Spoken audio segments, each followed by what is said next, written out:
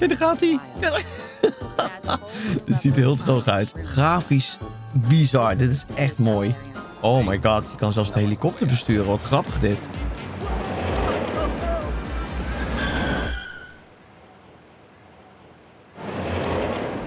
Frontier zit niet stil.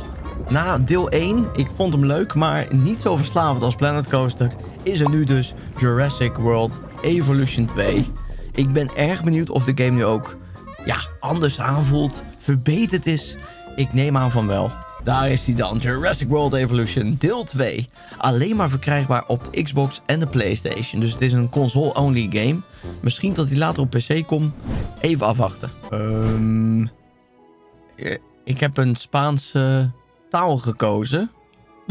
hoe, hoe ga ik terug naar Engels? Ik ga even opzoeken wat taalinstelling is in het Spaans. Potverdorie. Instituciones. Op een of andere manier is er iets fout gegaan. Ik weet niet wat. Ik kan het spel niet omzetten naar het Engels. Uh, een beetje apart, want het is lastig om een spel te spelen natuurlijk als je een tutorial moet volgen in het Spaans. Wordt er niet makkelijker op. maar dit is in ieder geval het menu. We hebben dus een campagne wat ik hier kan zien. We hebben een andere modus. Uh, het ziet er apart uit met een soort show. We hebben hier dan Creation, dus dan kan je waarschijnlijk vrij bouwen. En we hebben dus deze, Historia, Jurassic World. Dit is dan de campagne. Maar ja, ik, ik begrijp hier natuurlijk niet zo heel veel van. Althans, ik, ik, vind Spaans een mooie taal, natuurlijk. Wat ik nog kan herinneren is dat je een, uh, bij de campagnemodus... dat je zeg maar dino's gaat uh, ontwikkelen. Of althans, je gaat ze uh, met, met eieren of met, met DNA kan je ze mixen. En dan komt er dus een speciale dino. Dit ziet er trouwens echt prachtig uit. Maar dit is dus in-game. Het ziet er fantastisch uit. Grafisch hartstikke mooi. Ik had ook eigenlijk niet anders verwacht. Ik bedoel, kijk naar Planet Zoo. Toch? Maar ja, voordat ik ga verder spelen, ga ik eerst even kijken of ik het kan aanpassen dat ik in ieder geval Engels krijg. Kijk, dat is goed nieuws. Ik heb mijn taal omgezet naar Engels.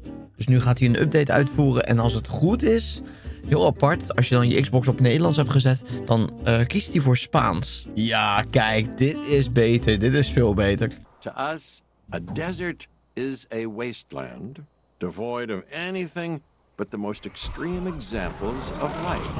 But creatures once thrived in these lands hundreds of millions of years ago. Given the geological history that we're dealing with, dinosaurs walking among the tumbleweeds isn't that much of a stretch. The current situation, where dinosaurs are running wild, is untenable to those in charge, well, those that think they're in charge. So we're left with a problem or an opportunity. This is where you come in. We krijgen dus een, uh, een soort van introductie. Twee mensen praten tegen elkaar en ik werk dus voor die meneer. En ik krijg dadelijk waarschijnlijk een taak, want ik moet eerst luisteren naar de briefingmissie en dan gaat het gebeuren. Mooie muziek trouwens. Navigate the toolbar to open a category of buildings. Kijk, we hebben operations, de responsive facility en ik weet nog als je dan zulke dingen bouwt, dat uh, staat er goed aangegeven waar je dat moet neerzetten, dan heb je ook stroom nodig voor alles wat je neerzet, zeg maar. En dit hek heeft natuurlijk ook stroom nodig. Op niveau 2 zie ik, mocht er een dino hier binnenin zitten, is het toch minder gevaarlijk, toch? Mocht die uitbreken, tjaga. Dan gaan we natuurlijk een pad maken. Dat pad gaat dan van hier. Nou, dat kunnen we volgens mij alleen in één rechte lijn doen. Dat is jammer. Oh, je kan ook hoekjes doen, kijk. Kijk, hetzelfde een beetje als dingen. Oh, dat glitcht een beetje, zo. Kijk, dat is leuk. Dat is mooi. Dan kan je ze een beetje rond laten lopen. Oh my god, je kan zelfs de helikopter besturen. Wat grappig dit. En dit is één mode. Dan zit je dus in first person. En dan moet je gaan schieten. Op dieren. Op, op, op een dino. Althans, je moet hem vangen. Je moet niet doodschieten of zo. Nou, dan gaan we kijken of we dino's kunnen vinden. Ik weet niet of er ergens specifiek een plek voor is. Ik zie daar wat. Kijk, in het water. Oké, we schakelen even over naar first person. En dan gaan we naar hem toe. Hij loopt weg, hij loopt weg. Nee, shit, shit, shit. Hij loopt weg, hij loopt weg, jongens. Oké, daar is die. Ik maak een foto voor in het dagboek. En hoe kan ik dat beest meenemen? Oké, deze dinosaurus hebben we nu gepakt. Ziet er prachtig uit trouwens, de beest. Echt heel mooi. We gaan dus dit transporteren naar natuurlijk de plek waar die hoort. En dat is hier zo. Kijk, dan zetten we hem hier zo. Deliver. En automatisch pakt hij dan eigenlijk de dino op en brengt hij hem hier naar de locatie. Kijk, daar gaat hij. dit ziet heel droog uit. Ik ben benieuwd of ze daar echt een T-Rex hebben, jongen. Zo, dan is dit niet genoeg. Dan moeten twee helikopters komen, denk ik. Kijk hem gaan, joh. Kijk hem gaan. Geweldig. Kijk, dit is hem. Grafisch bizar. Dit is echt mooi. Het loopt ook 60 fps. Ik speelt op de Xbox Series X trouwens. Natuurlijk moet hij ook ja, gevoerd worden, want we willen hem wel levend houden. Dus we klikken op Environment. En waar gaan we de feeder plaatsen? Die moeten we in het water neerzetten. Dat is hem. We hebben ook wat rotsen. Nou, die rotsen kunnen we eigenlijk één voor één plaatsen. Super vet. Dus dit is eigenlijk gewoon de aankleding van, uh, van alles. Ik moet dit gaan besturen. We gaan dus met deze auto, gaan we dus op zoek naar dino's. Niet alleen met de helikopter, maar ook met gewoon een freaking jeep. Oh, ja, dat is jammer dat je dan niet even de cactus omver kan beuken. Dat is jammer. Even kijken hoor. Gelijk weer zo'n wapen ook. Ik rij even naar de dino, want volgens mij moet ik gewoon een check doen. Oké, hij gaat even kijken. Even loeren. En dit wordt een status check. Kijk. Dat kunnen we zo doen op die manier. Missing Rock. Comfort 78 en leven op 100%. Hij mist dus nog een steen. Nu weet ik niet precies welke steen, maar ik denk dat ik gewoon een paar van deze kan plaatsen. Zo. En dit is echt een huge steen. Echt een grote. Je kan ze wel ernaast zetten, maar ze mogen elkaar niet raken. Nou, kijk, hij ligt lekker te slapen. Comfort staat nu op 100%. Nou, lekker te maf ook. Moet ook nog een ranger post even ergens neerzetten. Ik weet niet waar we dat het beste kunnen doen. Dat moet in de, in de verblijf sowieso. Dus ik gok dan in het midden dat dat het beste is. Kijk, en de ranger patrol kan je dan een taak geven om dit een beetje in de gaten te houden. Ik weet niet hoe ze dat gaan doen. Gaan ze dan naar binnen rijden? Oh ja, Oké. En dan door het water, neem ik aan. oh, hij gaat even langs de dino. Oh nee, hij gaat er achteraan. Kijk daar. hij vindt het niet leuk. ja, dat ding is toch niet zo lief als je denkt. Hé, hey, kijk, de Triceratops. Die ken ik wel. Dat zijn bekende dino's. En precies hetzelfde wat we deden met die andere dino... gaan we gewoon eerst met onze helikopter even naar de plek waar ik die dino's heb gezien. Namelijk bij het water. Staat ze gewoon lekker te chillen met elkaar. Er is wel een groepje volgens mij. Het waren er drie. Ja, kijk. En nog eentje. Hop.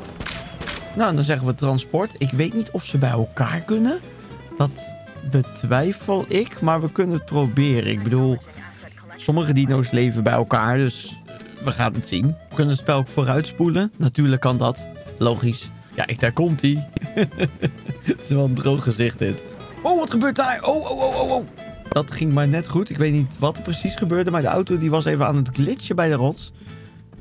En ik zie dus deze dino en die dino. En ze zien elkaar nu als het goed is.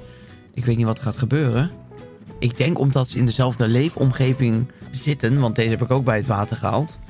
Dat dat misschien goed gaat komen. Hij is even aan het kijken. Hij is even aan het loeren. Hij denkt natuurlijk, dan ben ik niet alleen nu. Hij gaat toch een beetje dichterbij kijken nu. Ja, dit gaat wel goed, geloof ik. Uh, ja, prima toch? Of niet? Waarom doet hij zo raar? Is hij aan het spelen? Oh, waarom doen ze zo raar? Waarom doen ze dit? Een fight? Nee! Ze vechten! Oh my god, het is wel vet om te zien, maar dit hoort natuurlijk niet. Kijk, en dan maak ik gewoon even een, uh, een ander verblijf. Ongeveer daar. En nu als de wiede weer. Echt als de wiede weer. Moet ik deze transporteren. En dat gaat niet zomaar. Ik kom je redden, knul. Ik kom je redden. Daar is die, daar is die. Let op, let op. Ja, ik denk ook dat ik die andere Triceratops moet vangen. En dan hier ergens uh, in een kooi moet dumpen. Want ik denk niet dat ik ze hierbij moet toevoegen. Want die vent is zo agressief. Staat nu ook nieuw als taak. Uh, construct een nieuw enclosure. Dus we moeten een nieuw verblijf maken. Dat ik in ieder geval wel die dino isoleer ten opzichte van deze dino. Want het ging al niet goed samen.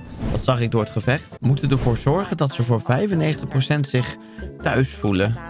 Dus we moeten kijken van wat, wat heeft dat beest nodig. En als we nou even gaan kijken met onze Jeep. Kijk, we gaan hem scannen. Rescan. Missing ground fiber. Ik denk wel iets van water. Want daar hadden ze natuurlijk ook water. Kijk, en zo kunnen we dat heel makkelijk doen. En dit is de environment die ze nodig hebben. 100% perfect. Dit is de perfecte habitat. Kijk, dat heb ik even goed uh, gedaan. Henkie zit er nog steeds in. Je kan elke dino ook een leuke naam geven natuurlijk. En hier worden automatisch van die dingen gegenereerd. Boomstronk. Allemaal van die plantjes eraan. Ziet er geweldig uit, absoluut. Construct an operational expedition center. Nou ja, zo gaat het spel alleen maar door natuurlijk. En uh, wordt het steeds uitgebreider. En dan een pad natuurlijk toevoegen. Doen we zijwaarts. Zo, kijk. Oh, er komen ook bezoekers al. Kijk, dat is mooi. Die bezoekers zien er ook geweldig uit. Ik had verwacht, dan krijgen we weer een beetje zo'n soort van Planet Coaster, Planet Zoo uh, personen. Maar het ziet er beter uit dan de Planko poppetjes, om het zo maar te zeggen. Heel realistisch ook. Ik kan niet meer inzoomen dan dit. Maar wat ik hier kan zien, het ziet echt qua gezichten echt heel goed uit. Wauw, misschien is dit wel een idee voor Planet Coaster 2, dat het zo ook eruit gaat zien. Dat wordt fantastisch, dat wordt echt heel mooi. Dit was Jurassic World Evolution 2. Laat vooral even in de comments weten wat jij van deze game vindt. En uh, wie weet nog een video volgende keer van dit spel. Tot ziens, doeg!